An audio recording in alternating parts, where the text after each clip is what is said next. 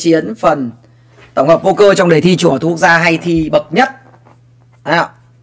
Câu số 1 ạ.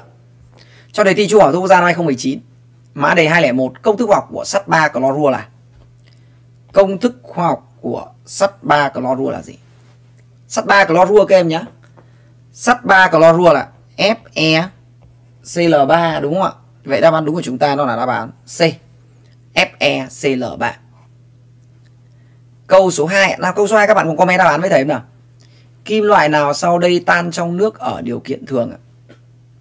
Kim loại nào sau đây tan trong nước ở điều kiện thường? Thì kim loại điều kiện để một anh kim loại tan trong nước ở điều kiện thường là gì ạ? Điều kiện để một anh kim loại tan trong nước điều kiện thường là gì? À là anh kim loại đấy nó phải là cái anh kim loại mạnh. Đúng chưa? Nó là cái anh kim loại gì? Khi nào ba cần đúng không? Khi nào ba cần có cả li nữa. Vậy thì đáp án đúng của chúng ta ở trong này chúng ta chỉ có thể là đáp án gì? Đúng rồi, 2A rồi ok. Thầy uh, Tuyên Dương bạn uh, Nhi Linh nhá. Ôi bạn Nguyễn Tuấn Khang comment nhầm à? Tuyên Dương bạn Hà Văn Phương. Tuyên Dương bạn uh, Nguyễn Linh. Rồi những bạn này comment rất là chuẩn luôn. Nào câu số 3. Kim loại nào sau đây không tan được trong dịch HCl? Thì kim loại không tan được trong dịch sắt cl là tương đương với việc là nó không phản ứng với HCl. Mà không phản ứng với HCl thì mình có là điều kiện là những anh kim loại mà phản ứng được với là HCl thì khi và chỉ khi là nó phải đứng trước hydro trong dãy điện hòa. Trong dãy điện hòa. Thế thì nó không phản ứng thì tương đương với suy ra. Không phản ứng thì tương đương với lại là đứng sau hero trong dãy điện thoại. Đứng sau hero trong dãy điện thoại. Được chưa? Vậy mình sẽ có là gì ạ? Khi nào ba cần mua áo, giáp, sắt? Vậy mình có kẽm phản ứng này, nhôm phản ứng này magie phản ứng. Vậy mình chỉ có đánh nào thôi ạ mình chỉ có anh bạc thôi nhá. Thầy chào thị hiền nhá. Hello hiền.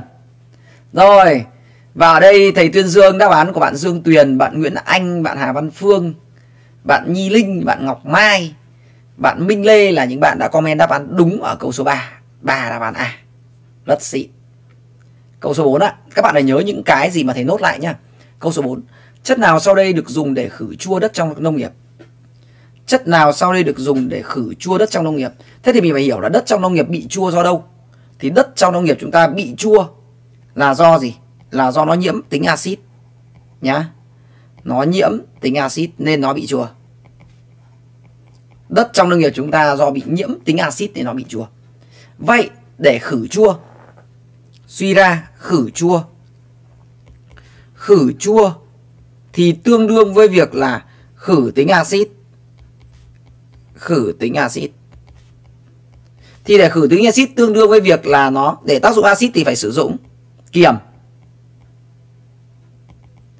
Được không ạ?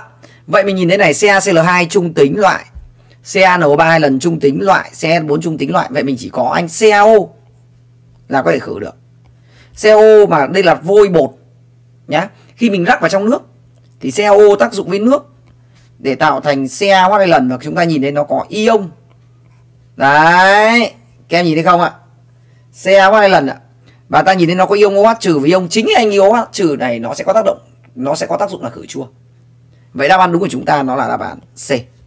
Rồi, xịn chưa? Rồi, thầy Thế Dương, bạn Nguyễn Anh, bạn Hồng Chi, bạn Nông Đức Mạnh, bạn Nguyễn Anh, bạn Bất Lực, bạn Hà Văn Phương, bạn Minh Lê là những bạn đã comment đáp án đúng ở câu số 4 này. Thế Dương, bạn Nguyễn Linh. Rồi, rất là cảm ơn tất cả bạn và các em đã nhiệt tình theo dõi buổi học ngày hôm nay của thầy đây là một trong số những buổi học mà ôn thi học kỳ 1 các bạn nên nhớ rằng là cái phần kiến thức của học kỳ 1 của chúng ta, nó sẽ là hỏi tất cả những câu về phần este lipid, carbohydrate, amin, amino acid, peptide, protein, polymer và cả đại cương kim loại. Trong đó phần đại cương kim loại nó sẽ là trọng tâm, nhá. Vậy thì đa số các bạn thì học phần hữu cơ thì quên phần kim loại. Và đến bây giờ khi chúng ta quay trở lại kim loại, chúng ta quên hết rồi, đúng không? Và thế thì bây giờ làm sao để mà chúng ta học trước không bị quên sau nữa?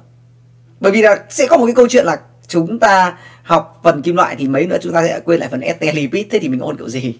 Cả đời mình đi ôn à? Đúng không? Ạ thì cái việc để mà chúng ta học mà chúng ta không bị quên ấy, thì chúng ta nên học theo phương pháp là cuốn chiếu.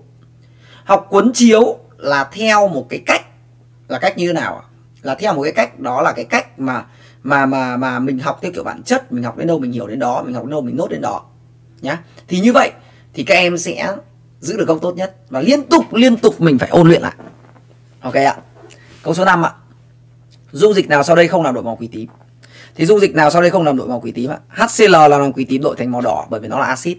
NaOH làm quỷ tím đổi thành màu xanh bởi vì nó là bazơ CH3NH2 làm quỷ tím đổi màu xanh bởi nó là bazơ vậy ở đây không làm đổi màu quỷ tím chúng ta lại H2NCH2COH anh này là gì glycine nhá câu 5 đáp án đúng chúng ta là đáp án D ạ glycine tự nhiên lạc vài anh glycine vào đây các em nhỉ rồi tuyên dương tất cả các bạn đã chọn đáp án 5 D ạ câu số 6 Kim loại nào sau đây được điều chế bằng phương pháp thủy luyện? Nhiều bạn nghe thấy thủy luyện là sợ.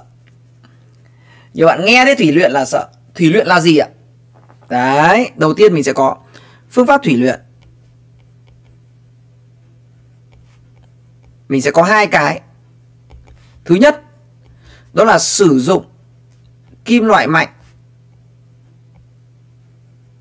để đẩy kim loại yếu hơn ra khỏi dung dịch muối của nó. Ra khỏi dung dịch muối của nó. Được chưa? Phạm vi ứng dụng phạm vi áp dụng. Phạm vi áp dụng. Phạm vi áp dụng của tụi này, đó là chúng ta chuyên sử dụng để điều chế. Người ta chuyên sử dụng để điều chế. Các kim loại trung bình yếu. Mục tiêu là nó phải không tác dụng với nước. Ở điều kiện thường ở mọi điều kiện. Thế là chuẩn ạ vậy mình nhìn nha canxi tác dụng với nước, bỏ, thủy luyện mà. Mình cứ hiểu thủy luyện là có nước. Thế bây giờ mình giả sử mình điều chế thành canxi, ở trong môi trường nước nước canxi lại tác dụng với nước, nó lại quay ngược trở lại. Đấy, cái này chúng ta logic thôi, chúng ta hiểu cái là xong. Bỏ canxi, bỏ natri, đúng không ạ? Magie cũng bỏ nốt. Vậy nó là anh gì ạ? Nó là anh đồng. Đáp án đúng chúng ta là đáp án D các em nhá. Rồi, tuyên dương bạn Ngọc Mai tuyên dương bạn Nhi Linh tuyên dương bạn Minh Lê tuyên dương bạn Nguyễn Tuấn Khang Thanh Trúc Nguyễn Anh rồi tuyên dương tất cả các bạn và các em rồi tuyên dương bạn Nguyễn Linh tuyên dương bạn à, Dương Công Thoại tuyên dương bạn Phạm Băng tuyên dương bạn Hương Linh rồi rất là cảm ơn tất cả bạn và các em đã rất nhiệt tình comment đáp án trong buổi học ngày hôm nay. Thì rất là mong muốn tất cả các bạn và các em có thể chia sẻ lại buổi học này và tác giúp tới tất cả các bạn của các em vào đây được không ạ? Câu số 7 ạ. Dung dịch chất nào sau đây hòa tan được alh 3 lần ạ? Thế thì mình phải hiểu là ALOH 3 lần có tính gì đã? Thì ALOH 3 lần có tính lưỡng tính. Có tính lưỡng tính. Và tính lưỡng tính này thì nó tương đương với việc là tác dụng được với cả HCl và cả NaOH. Được không ạ? Các em ghi những cái nốt này của thầy lại. Nhá, và bởi vì nó tác dụng được với cả HCl và NaOH nên suy ra đáp án đúng chúng ta là đáp án D. Thì có cái phương trình của ALOH ba lần tác dụng với NaOH. Tác dụng với NaOH thì nó sẽ tạo thành là Na AlO2 cộng H2O. Được không ạ? Mình sẽ có hai H2O. Đấy, bạn nào cần thì có thể ghi lại cái phương trình này. Nhá. Kiểu gì mình học tới thôi mà. Câu số 8 á. Cặp dung dịch chất nào sau đây phản ứng với nhau tạo ra chất khí? Cặp dung dịch chất nào sau đây phản ứng với nhau tạo thành chất khí? N2CO3 là không tác dụng với KH rồi. N4Cl là có tác dụng AgNO3 nhưng nó chỉ tạo thành là AgCl kết tủa thôi. Và N4NO3 thôi, không có khí. NaOH và H2O4 là có tác dụng với nhau nhưng nó chỉ tạo thành Na2SO4. Và H2O thôi cũng không có khí. Vậy đáp án đúng ở đây của chúng ta nó là đáp án C. vì BA lần cộng NH4 bản chất là OH trừ cộng NH4 cộng để tạo thành NH3 bay lên cộng BaCl2 cộng H2O. Đáp án đúng của chúng ta nó là đáp án C các em nhé. Ok, đáp án C. Rồi, Tuyên Dương Nguyễn Linh, Tuyên Dương Hương Linh, Tuyên Dương Thanh Trúc. Rồi, rất là cảm ơn tất cả các bạn và các em đã comment đáp án câu số 8 ạ. Nào cùng chiến cho thầy xem nào. Câu số 9. Câu số 9 thì dễ. Câu số 9 thì quá dễ luôn nhỉ. Trời ơi. Câu số 9 ạ. Thí nghiệm nào sau đây thu được mối sắt 3 sau khi kết thúc phản ứng ạ? Thí nghiệm nào sau đây thu được mối sắt 3 sau khi kết thúc phản ứng? Yêu cầu ở đây để bài bảo chúng ta là thu được mối sắt 3 nhá. Sắt 3 nào các em? 9 ít gì ạ? Đầu tiên mình có sắt vào dung dịch CuSO4 thì mình sẽ thu được là FeSO4 cộng Cu không có mối sắt 3. Bỏ. Fe vào HCl thì mình sẽ thu được là FeCl2 cộng H2 không có mối sắt 3. Bỏ tiếp. FeOH2 lần vào dung dịch H4 loãng thì mình sẽ thu được là gì? FeSO4 cộng hai lần H2O cũng thông không thu được mối sắt 3, bỏ nốt. Đốt cháy sắt trong bình khí clo dư thì thu được FeCl3. Vậy đáp án đúng của chúng ta nó là đáp án D các em nhé. Đáp án D. Rồi. Ông Nguyễn Anh bị nhầm rồi buồn quá. Bùi Công Phúc chính xác, Hà Lim chính xác. Rất tốt, tuyên dương các bạn này. Tiên dương bạn Hương Linh, Tiên dương bạn Nguyễn Linh cũng là comment rất là nhiệt tình và ra đáp án chính xác. Ok em thấy dễ không? Thực ra anh sắt để mà lên số xóa cao nhất là sắt dương 3 thì nó sẽ tác dụng với clo, tác dụng H4 đặc, tác dụng HNO3 đặc. Nhá, mình chỉ nhớ một vài cái cơ bản vậy thôi là ok rồi. Câu 10 ạ. À. Thí nghiệm nào sau đây có xảy ra ăn mòn điện hóa học? Thế thì thế thì để nắm được là những thí nghiệm nào xảy ra mòn điện học thì mình phải nắm được là điều kiện. Đúng không? Điều kiện. Điều kiện để xảy ra ăn mòn điện hóa. Điều kiện để xảy ra ăn mòn điện hóa thì nó phải thỏa mãn cùng một lúc cả ba điều kiện. Điều kiện thứ nhất là hai cặp điện cực, hai điện cực, hai điện cực khác nhau về bản chất.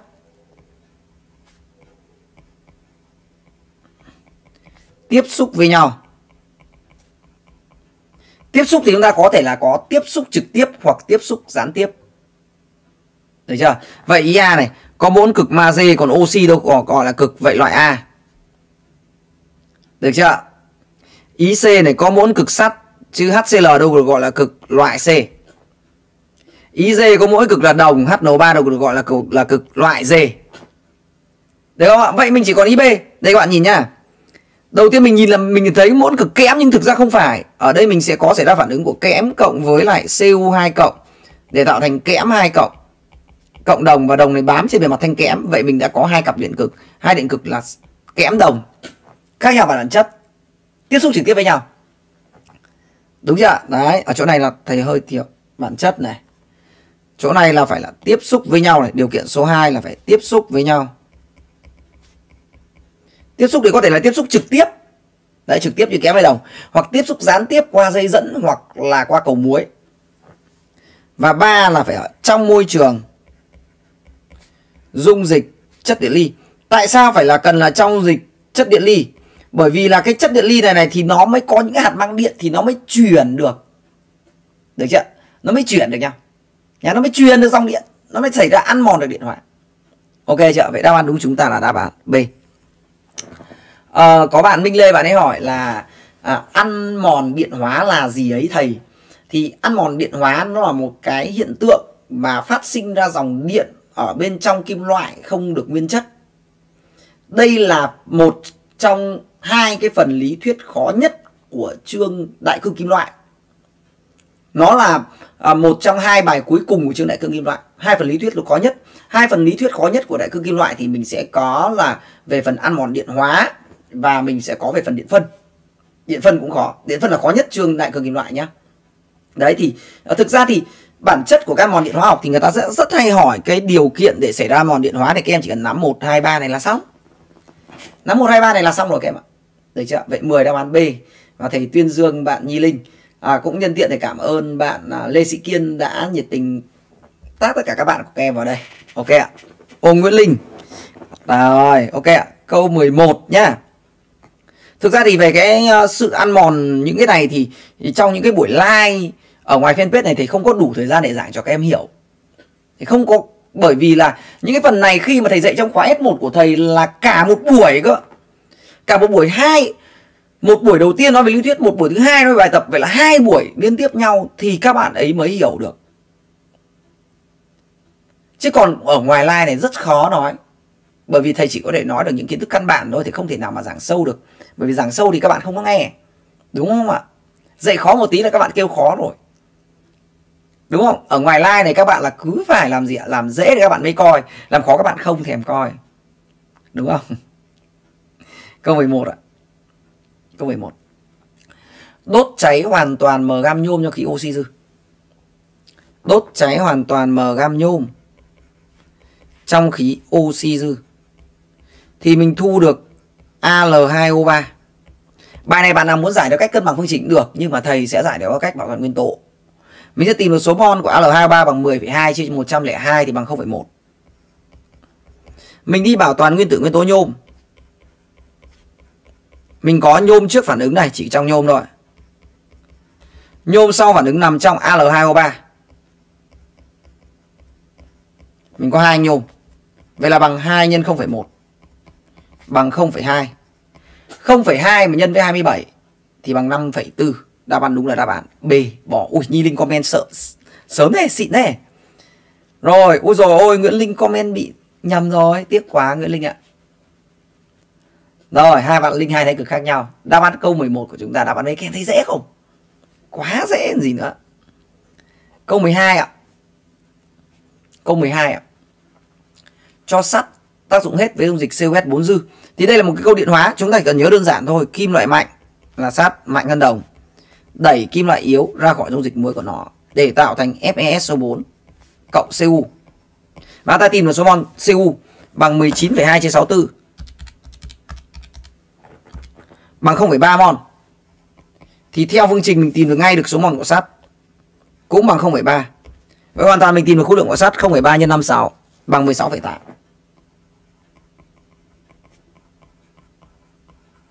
Được chưa?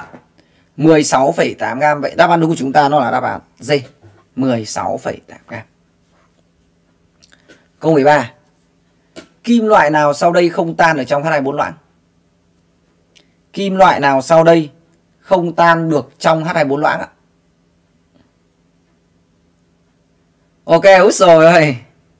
Tuyên Dương Minh Lê, Tuyên Dương Nhi Linh, Tuyên Dương Hoàng Trí Kiên, thầy chào à, Nguyễn Nhật Huy mới học về. Thầy cũng mới đi dạy về mà. Thầy cũng mới đi dạy về là lao đây dạy các em luôn mà. Khô máu luôn. Nào câu 13 kim loại nào sau đây không tan ở trong hai bốn loãng? Thực ra thì ở trong cái chuyên đại cương kim loại thì thầy có một cái chuyên đề rất là kinh khủng đấy là chuyên đề axit loại 1 thì trong cái chuyên đề axit loại 1 này thì thầy dạy cho tất cả các bạn ấy cách tư duy về HCl và H2 bốn loãng. Bởi vì về mặt bản chất thì HCl và H2 bốn loãng ở trong dịch thì nó đều cung cấp cho cái dung dịch đấy ion H cộng. Và chính cái ion H cộng đấy nó làm cho cái dung dịch có tính axit. Nên là chúng ta sẽ nhìn thấy rằng là cái tính chất chung của anh H2 4 loãng và HCl thì nó gần gần tương đồng nhau. Thế thì kim loại không tan ở trong H2 4 loãng thì cũng tương tự với việc là kim loại không tan ở trong HCl nó đều, lúc nãy mình đã logic rồi, nó đều là những anh kim loại đứng đằng sau hydro vậy câu chuyện chúng ta là không tan được thì nó phải đứng sau hydro đứng sau hydro trong giải điện thoại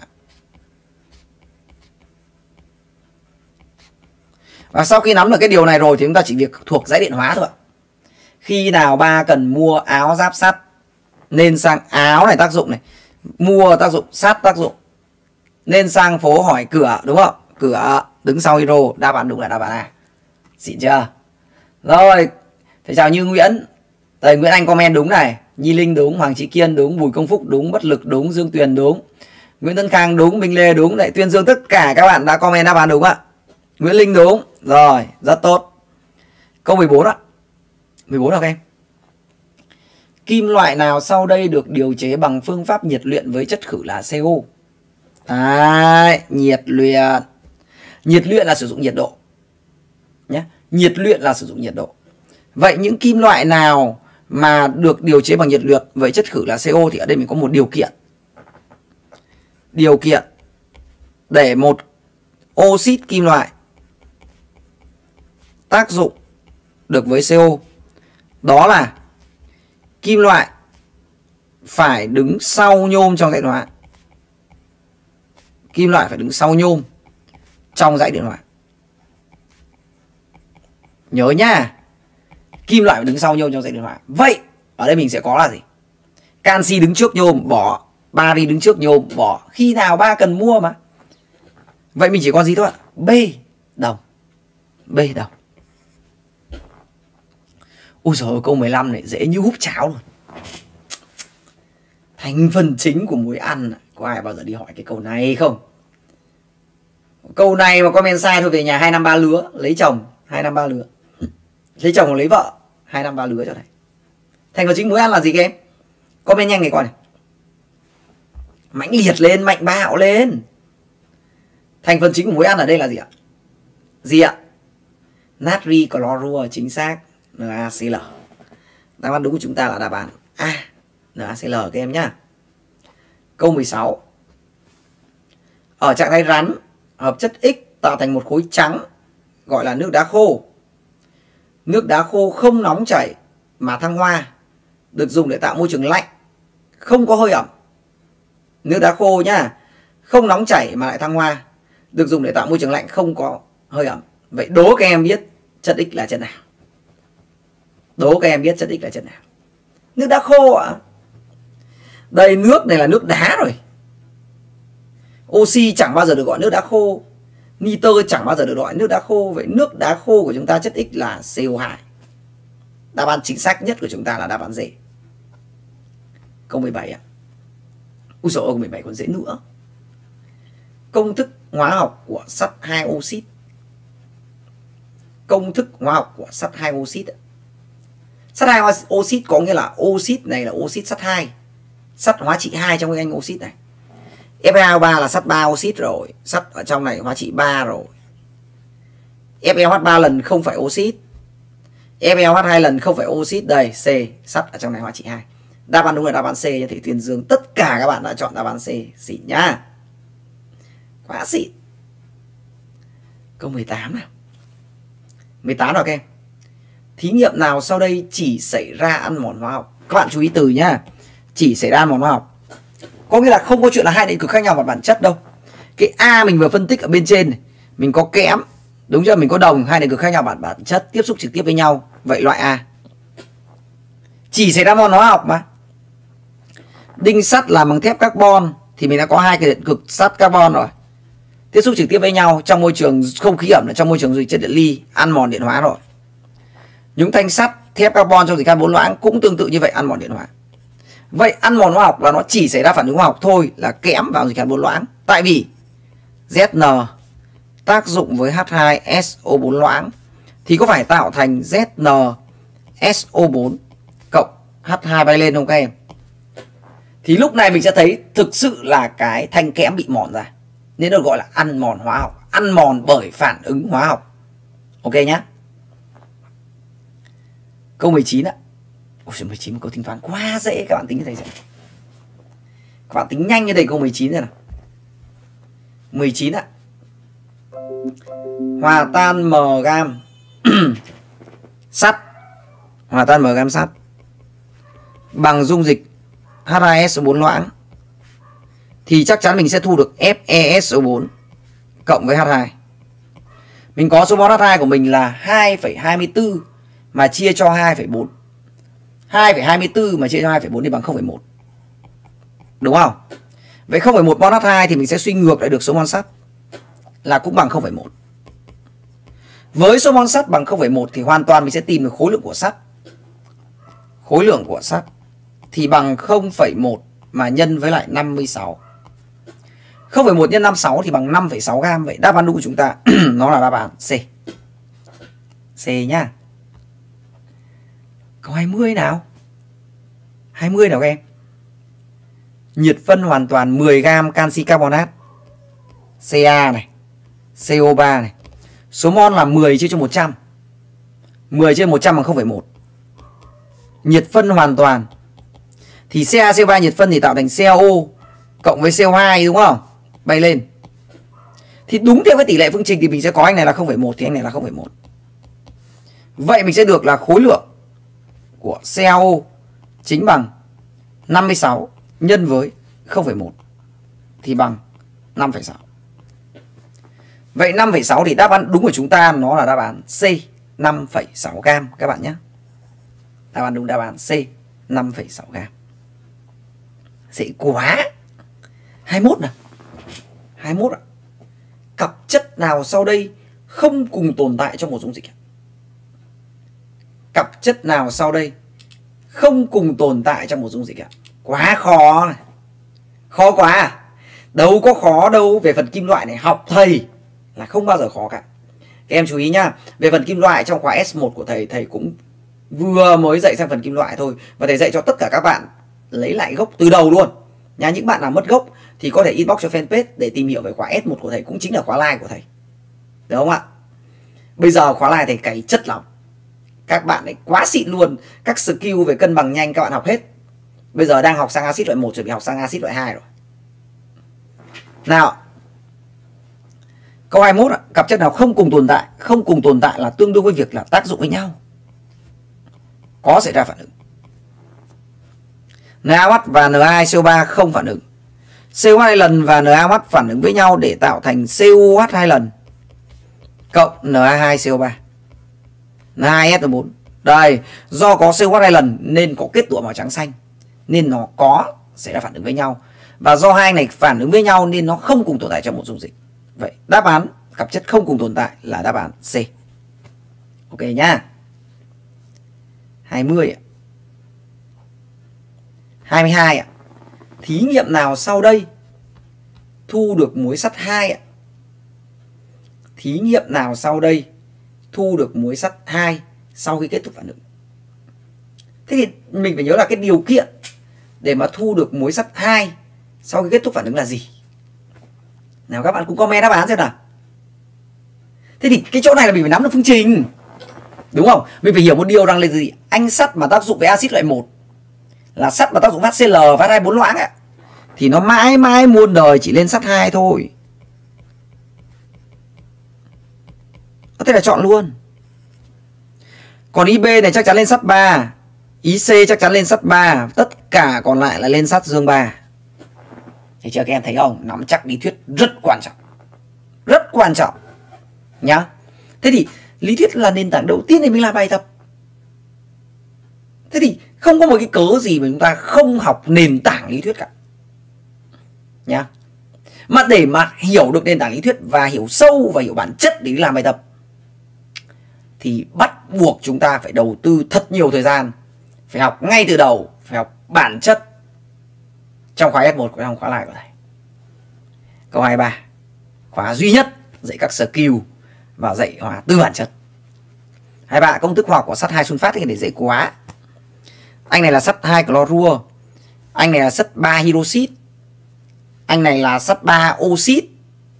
Vậy chỉ có IC FeS4 là sắt hai sunfat mà thôi. Được không ạ? Đáp án đúng của chúng ta nó là đáp án C. Câu 24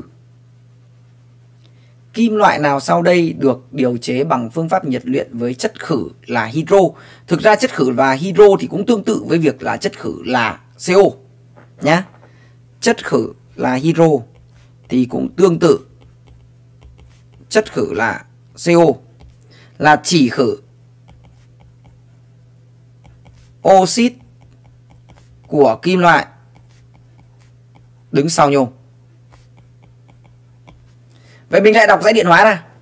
Khi nào ba cần mua áo, giáp, sắt nên sang phố hỏi cửa đây, các em nhìn thấy không kali đứng trước không thể bị khử bởi hydro. Natri cũng thế canxi cũng thế. Đúng chưa? À đâu ạ? Đứng sau nhôm ạ. Đứng sau nhôm đây mà. Vậy là sắt đứng sau nhôm, vậy là bị khử bởi hydro. Đáp án đúng chúng ta là đáp án C. Và tuyên dương tất cả các bạn đã chọn đáp án C nhá. Câu 25 25 ạ. 25 nào các em? 25 nào các em? 25 dễ chưa? Trong phòng thí nghiệm kim loại natri được bảo quản bằng cách ngâm trong chất lỏng nào sau đây? Thực ra ấy, câu này nó sẽ rất dễ nếu chúng ta tư duy được. Để được bảo quản được natri để bảo quản được natri thì khi và chỉ khi phải sử dụng một chất mà nó không tác dụng với natri nhé để bảo quản natri thì chúng ta phải sử dụng một chất nó không tác dụng với natri. Thì nước là chắc chắn tác dụng natri rồi bỏ rồi giấm ăn là CH3COOH cũng tác dụng natri bỏ tiếp Ancol là C2H5OH cũng tác dụng natri bỏ nữa. Vậy, bảo quản natri chỉ có sử dụng anh nào ạ? Dầu hỏa. Đáp án đúng là đáp án B, bỏ các em nhé. Dầu hỏa, B, bỏ. Câu 26. Chất nào sau đây của tính lượng tính? Thì lượng tính thì các em nhớ cho thầy là có 5 anh oxit lượng tính. ALH 3 lần. ZNOH 2 lần. CrOH 3 lần. PbOH 2 lần. Và SnOH 2 lần. Vậy chất có tính lương tính ở đây của chúng ta trong này 26 nó chỉ có anh nào thôi. Nó chỉ có anh B ALH 3 lần mà thôi. Nên đáp án chính xác nhất của chúng ta nó là đáp án B. Câu 27 ạ. Kim loại nào sau đây tính khử yếu nhất? Ôi dễ thế. Kim loại có tính khử yếu nhất là kim loại mà đứng cuối cùng trong dãy điện hòa nhưng ở đây là sau đây có nghĩa là trong tất cả bốn kim loại này thì kim loại tính khử yếu nhất, thì cái kim loại nào mà đứng cuối cùng trong bốn thành kim loại này thì nó là yếu nhất khi nào khi nào thằng này đứng đầu tiên này ba cần mua áo, thằng này đứng thứ hai này giáp sắt, thằng này đứng thứ ba này nên sang phố hỏi cửa hàng á đấy thấy chưa đáp án đúng đáp án a xịn không Xịn không các em? Câu 28 á. Thí nghiệm nào sau đây chỉ xảy ra ăn mòn hóa học? Chỉ xảy ra ăn mòn hóa học là nó chỉ xảy ra phản ứng rồi nó dừng. Có nghĩa nó không có hai điện cực. đúng không ạ? Đây, kẽm và đồng, kẽm đẩy đồng, hai điện cực kẽm đồng, bỏ. Tiếp xúc trực tiếp với nhau trong môi trường chất điện ly, bỏ luôn. Tương tự sắt vào đồng, mình có đồng bám vào sắt. Đúng không? Hai kim loại. Đúng chưa? khác nhau về bản chất tiếp xúc trực tiếp với nhau bỏ tiếp nhúng thanh đồng vào bạc đồng đẩy bạc bạc bám vào đồng bỏ tiếp vậy ở đây chỉ còn đáp án C là chỉ xảy ra mòn hóa học tại sao C lại vậy bởi vì nó chỉ ra phản ứng đồng cộng với lại sắt 3 cộng để tạo thành đồng 2 cộng cộng sắt không có hai kim loại nhá không có hai kim loại tiếp xúc trực tiếp với nhau vậy đáp án đúng của chúng ta ở đây là đáp án C. Thầy nghĩ rằng là uh, sắp tới thầy sẽ có một cái hôm mà thầy chỉ có nói riêng về ăn mòn điện hóa và ăn mòn hóa học để cho các bạn hiểu kỹ hơn về phần này. Chứ thầy đây là các phần này các bạn nát quá nha. Gửi tới nhá. Câu 29 ạ. 29. Hòa tan hoàn toàn 2,8 gam sắt. Thực ra đây là làm làm theo phương pháp chậm cho các bạn hiểu chứ còn các bạn lớp thầy thì các bạn không làm theo phương pháp viết phương trình này nữa đâu. Các bạn nhẩm phát các bạn ra số mol luôn, các bạn nhìn thấy số mol của sắt. Bằng số mol hero bạn chọn luôn rồi. Số mol sắt là bằng 2,8 trên 56 bằng 0,05 bằng số mol hero 0,05 suy ra à, số mol của hero bằng 0,05 nhân 2,4 các bạn chọn luôn đáp án B chúng ta cùng làm xem có đúng không nhá. Đây ạ sắt đây 2,8 này. Chia 56 này 0,05 thì số money đô không có năm chuẩn chưa? Nhân 2,4 xịn chưa? 1,12 lít. Đáp án chuẩn là đáp án B bỏ. Các bạn thấy chưa? Như bạn học thầy bạn làm nhanh lắm. Nào câu 30 ạ. À. câu cuối cùng của buổi tối ngày hôm nay. Nào các bạn cùng comment đáp án câu 30 thế nào. Các bạn cùng comment đáp án câu 30 câu cuối cùng buổi tối hôm nay đáp án gì? 30 ạ. Thí nghiệm nào sau đây thu hồi thu được mối ăn mối sắt hai khi kết thúc phản ứng. Đấy, các bạn thấy không? Thực ra về phần vô cơ ấy, nó rất đơn giản. Nếu mình hiểu được bản chất cơ. Thế chính vì vậy nên là mà cái phần đại cương kim loại này nó lại chiếm số điểm khá là lớn trong đề thi học kỳ 1. thế nên mặc dù mặc dù là rất ham chơi, mặc dù là rất lười, nhưng hãy cố gắng lên các em ơi, sắp thi học kỳ 1 rồi, thi học kỳ 1 đến mông rồi, thi học kỳ 1 đến đít rồi học đi không muộn. Không là điểm thấp là bố mẹ buồn, là ăn tết buồn. Chẳng có thưởng gì đâu. Nào có 30 ạ. Đáp án gì em? 30 ạ. 30 đáp án gì ạ? Thí nghiệm nào sau đây thu được muối sắt hai khi kết thúc phản ứng? Đốt sắt trong bình chứa clo dư là thu được FeCl3 sắt vào dịch carbon đặc nóng dư là thu được Fe2SO43 lần. Fa3 và HCl mình sẽ thu được FeCl3 thế tất cả bọn này đều là muối sắt ba vậy chỉ có một anh thôi. FeOH 2 lần cộng HCl thì tạo thành FeCl2 cộng H2O vậy, đáp án đúng của chúng ta nó là đáp án B, bỏ. Nhá. Đáp án chính xác nhất của chúng ta là đáp án B, bỏ. Ok chưa?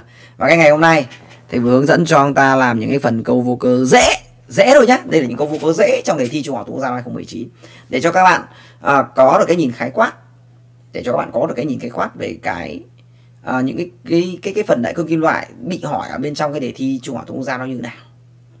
Để chúng ta có thể định hướng được việc học. Không những chỉ định hướng việc học sắp tới mà còn định hướng được việc ôn thi học kỳ một. Rất là cảm ơn tất cả các bạn và các em đã theo dõi buổi học hôm nay.